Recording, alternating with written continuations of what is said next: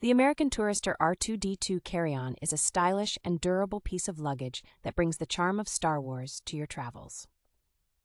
Equipped with single spinner wheels and a Star Wars branded push button pull handle, it ensures smooth maneuverability. The suitcase features Star Wars branded zipper pulls, adding a unique touch to its overall design. It includes an American Tourister branding ID tag, making it easy to identify your bag on the luggage carousel. The split construction with a large mesh pocket on the interior panel and cross straps helps keep your belongings organized. Measuring 21 inches, this carry on is compact yet spacious enough for your travel essentials.